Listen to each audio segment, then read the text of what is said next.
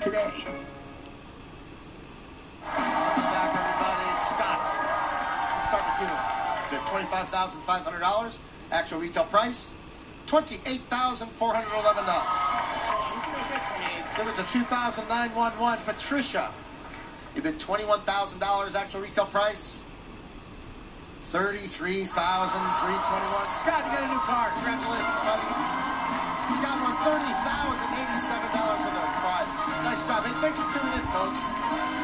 blessing when you watch the show.